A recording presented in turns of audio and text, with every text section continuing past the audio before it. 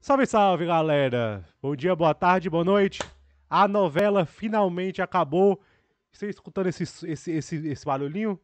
Esse barulho que eu tô escutando? Esse barulho, sabe o que é esse barulho? Suspiros da torcida do Manchester United, de esperança e de choro. E finalmente parece que temos o treinador, né? é, cara, deixa eu ajeitar aqui a câmera. Cara, pois é, velho. Ten é, eu já tinha é, é, pego, é, feito um vídeo que ele deveria ser mesmo treinador do Manchester United. Aí depois daquele vídeo, nos dias que, que, que, se passaram, tiveram conversas entre o Ten Hag e o Manchester United, a diretoria do Manchester United, para ele realmente embasar o poder que ele vai ter. Muitas das conversas é que, tipo assim, como até o Fabrício Romano aqui fala, ó, deixa eu ver aqui, ó. É, tá aqui, ó. É, é impossível pro Ten Hag aceitar uma situação como do Van de Beek. Esse vídeo é muito legal. É, você contrata, você contrata ele por 40 milhões de euros e nunca joga ele. Isso é uma coisa que o Ten Hag quer, quer evitar junto com o Rangnick, né? O Rangnick que vai ser um consultor, o contrato dele parece que é, ele só trabalha dois, três dias por semana, depois aí como, que já, na que anunciaram o Rangnick eu falei, né? É, na notícia eu falei, a notícia falava que era seis meses de contrato como treinador e mais dois anos como consultor, né? E ele fala, esse tipo de situação do, do Van de Beek não pode acontecer. Você vai e deita 40 milhões de euros e não joga. Cara, o Van de Beek nunca teve uma sequência decente no United. Nunca teve uma sequência. Simplesmente não colocava o cara para jogar. Meu irmão, não tem condição. E muitas dessas, dessas conversas foram para é, alinhar. Cara, eu quero ter poder de decisão nas contratações, é, decisões em relação ao elenco, eu quero ter muito poder tudo isso ele tá pedindo. E as conversas avançaram e parece que acertaram tudo, né? Aqui, ó. O David Ostai, eu vou falar aquele que deu a primeira notícia, né? Que tava acertado. Ele fala assim, ó. É acordo verbal, é... em princípio, já foi fechado com o Terhag para ele ser o próximo treinador. Manchester United vai ter agora é, que se acertar com o Ajax, que já tá sabendo.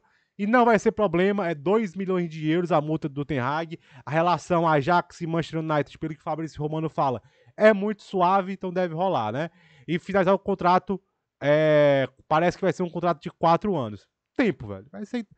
Cara, eu falo. É, não, não é esperado anúncio até a final da Copa da Alemanha. Ou da, da Holanda, né? Que é agora de 17, PSV e Ajax.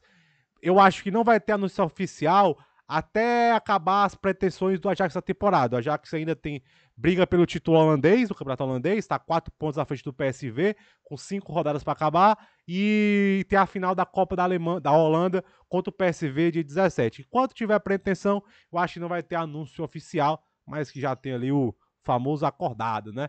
E tipo, é... vai ter que ter tempo, galera. Tem mais coisa para falar. Vai ter... Ele vai precisar de tempo. Não vai ser um trabalho simples tirar o Manchester United e esses vícios, essa cultura que tanto se criou pós-Ferguson do United. Então vai ser um trabalho de tempo, provavelmente de anos. Não vai ser, ele vai chegar, fazer dois, três treinos tático e tamo bonitão. Ele vai ter que mexer no elenco. Esse elenco precisa de reforço. Esse elenco precisa, aliás, precisa de adição por subtração que é tirar algumas peças ali que já não dá mais, que não tem nível United e que não tem nenhum comprometimento com o United. Então vai ser um trabalho a longo prazo. Não dá para queimar o Ten Hag com dois, três meses. Ele é bom treinador, já provou no mais alto nível, não tem, não tem que provar mais nada disso a ninguém. Obviamente ele vai para um clube enorme, que frita muito o treinador. Agora vamos ver de que é feito o Ten Hag aí. Mas a torcida vai ter que ter paciência com ele. Vai ter que ter paciência com ele né? E tipo, uma coisa que eu não gostei muito desse negócio do Ten Hag foi isso aqui, ó. É, algumas fontes lá para a ESPN que o Steve McLaren e o Reni Melestein é, ambos trabalharam so, é, é, na comissão técnica do Ferguson, é, estão sendo considerados como é, contratados para trabalhar sobre o guarda-chuva do Ten Hag. Isso aqui que eu fico puto. Se for o Ten Hag que pediu, Beleza. Zero problema. Mas se é o clube que tá colocando, enfiando goela abaixo do, do treinador, isso aqui, aquela coisa, sempre se apegando o passado. É, sempre se apegando à era Ferguson. Cara, tá na hora de mudar, olhar pra frente, cara. Então, ó, se isso aqui acontecer, já dá uma leve desanimada. Cara, deixa o Ten Hag trazer os caras que ele quer, cara. Fala-se de Van Persie como membro da, da, da comissão técnica. Deixa o Ten Hag montar a comissão técnica de acordo com que ele acha necessário. De, de acordo que ele acha melhor, né?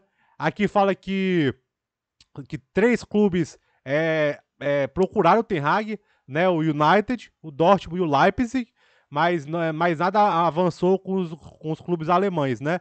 O foco do Ten Hag sempre foi o Manchester United. O que o Fabrício Romano fala, ó, que o Manchester United já está preparado para ter conversas é, com o Ajax para pagar a multa de 2 milhões de euros. Não vai ser um problema. A Ajax sabe que o Ten Hag já aceitou as, a, a, proposta contratual do Manchester United, né? Isso aqui, Fabrício Romano, é bem legal, ó. Fontes próximas ao Ten Hag é, descreveram o Eric muito feliz com a proposta do Manchester United. E em vários pontos, como poder nas negociações que vai ter em conjunto, ele com a diretoria. E ele também está muito feliz que foi oferecido para ele um contrato a longo prazo. Isso aí, o Manchester United, parabéns. Tá dando carta branca e tá acreditando no trabalho. Então, geralmente, se fosse outro clube aí, oferecia dois anos pro cara. Então, ofereceram quatro anos, um contrato a longo prazo. Parabéns, United. Pronto, isso aí eu tenho que, o que eu critico, eu critico, mas que tem que elogiar, né? E tipo, esse lance aqui do Dortmund do Leipzig procurar o Ten Hag me surpreendeu o Leipzig, porque o Tedesco tá bem lá, né? E tipo, mas não sei se o Red Bull, ah, vamos, vamos, vamos fazer o upgrade mesmo assim. O Dortmund não me surpreende. O Mark Rose tem dividido a diretoria lá, entendeu? Muita gente acredita nele, quer dar mais uma temporada, mas muita gente acha que o, que o trabalho dele fracassou. Vocês contrataram, pro Dortmund, tá, gente? Um treinador que é conhecidamente ofensivo e entregaram a ele uma zaga de papel. E a culpa é só, só do treinador? Fica difícil, né? E o Manchester United que tem interesse aí no Enzo Fernandes, volante meia aí do River, River Plate, né? Real Madrid e Manchester United são os clubes que seguem perto ali do, do Enzo Fernandes, né? Ambos os times já tiveram conversas, mas nenhuma, nenhum time fez propostas formais, né? Um scout da Inglaterra foi ver ele em loco, né? É, a, a, multa dele é de 20 milhões de euros e em 10 dias, antes que se feche a janela argentina, sobe para 25 milhões de euros. O Manchester United aí de olho no Enzo Fernandes. Não me surpreende, Enzo Fernandes é, é, dentro da Argentina ele é muito bem falado. Eu vi dois jogos dele, não me chamam muita atenção, mas aquela coisa, eu só vi dois jogos. Pode ser que o moleque seja craque e eu só dei azar, né? Então, mas dizem que realmente na Argentina ele é muito talentoso, ele é muito admirado dentro da Argentina. A torcida do River ama ele. Então, cara, geralmente quando a torcida do River ama um jogador, porque eu acho que Pereba não deve ser, né? Mas enfim, Ten Hag, novo treinador do Manchester United, um alívio e uma esperança aí para os treinadores, para os torcedores do Manchester United que nos últimos anos tem sido uma nação sofrida. Tamo junto, é nóis. Valeu. Falou.